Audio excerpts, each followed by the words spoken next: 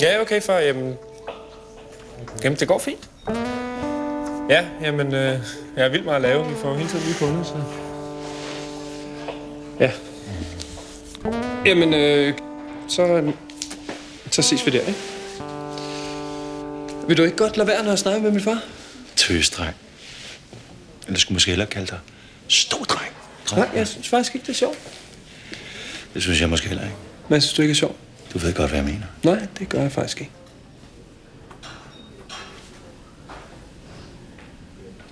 Jeg håber bare en dag, at vi kan gå på gaden med hinanden i hånden. Når jeg vil gå igen, Den dag, den kommer sgu nok før, du tror det. den har jeg hørt før.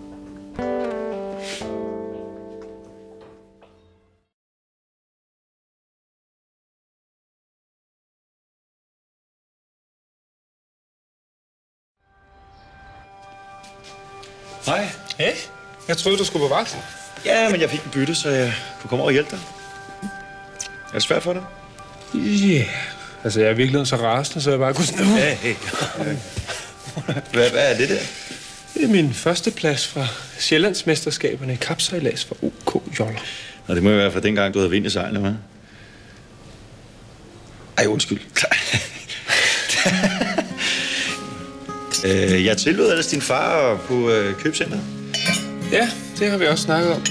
Men øh, der skal altså ikke være i lommen på dig. I hvert fald ikke på den her. Åh, hvad for noget så? Måske sådan her. Eller her. Bare sådan.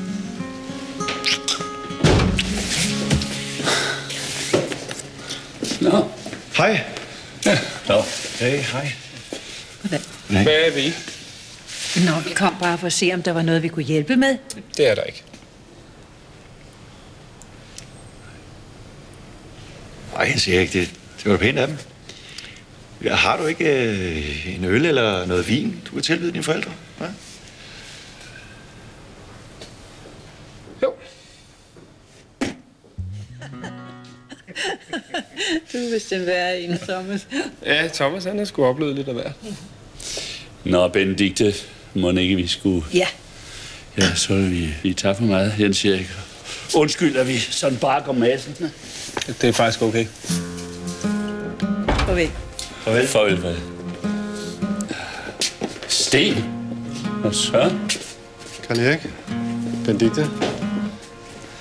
Ja, undskyld, vi sådan kommer brasende, men uh, ja, vi har sådan set forstået, at der var tømt ud.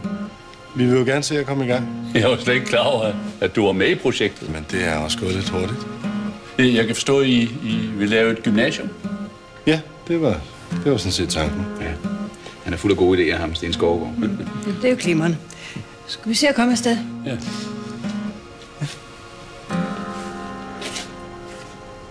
Nydeligt. Held og lykke med projektet. Ja, tak skal du have. Ja, og Hanne, du kender jo stedet ind og ud, så du kan jo bare vise rundt. Ja, nu skal du se her.